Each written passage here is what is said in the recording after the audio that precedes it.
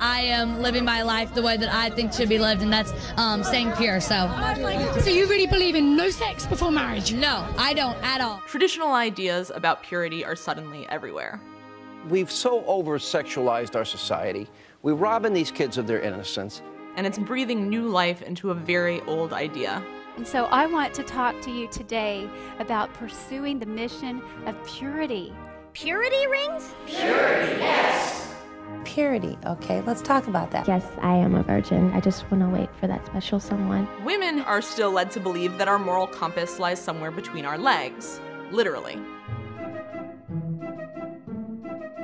Each year, thousands of purity balls, where young girls pledge their virginity to their fathers, are held across almost every state in the country. I just want to say thank you for making this event, you know, the Father Daughter Purity Ball, a lifestyle and an everyday thing. Politicians increasingly extol the virtues of abstinence and virginity, We want to see kids wait before they start having babies and sex. and all told, American taxpayers shell out about $50 million a year on abstinence only education in our schools, almost half a billion dollars since 1996. There is no such thing as safe sex. This girl's gonna end up sterile or dead.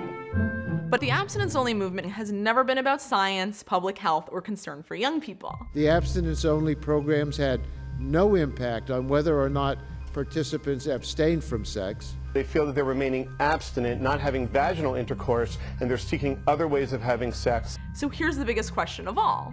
What is it about virginity that's so politically useful to the conservative movement? It is pressed that a man marry a virgin. Young man, if you're dating a woman who boasts of being a feminist, who uses every four letter word in the Marine Corps manual, who wants no children, who wants to drag you around like a dog on the end of a rope, run!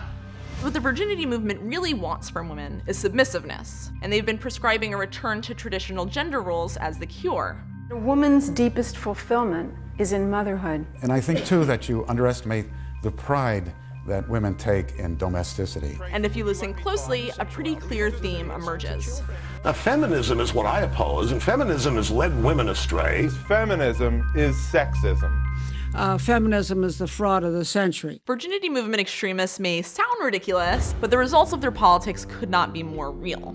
Planned Parenthood does 330,000, more than 300,000 abortions each and every year. It is child abuse. And I shall be looking for ways to unfund every other entity like them that promotes abortion or provides abortion. Planned Parenthood is invested in promiscuity. This is a full on virginity movement, actively working to roll back women's rights using the purity myth to do it. Jessica, you call it a myth, the purity Yeah. myth. What do you mean? What do you mean? The purity myth is the lie that women's sexuality has some bearing on who we are and how mm-hmm. good we are. Because really, I think that we all know that young women are so much more than whether or not they have sex. Mm-hmm. Right. We really should be teaching our daughters that their ability to be good people is based on their intelligence, their compassion, their kindness, not what they do with their bodies.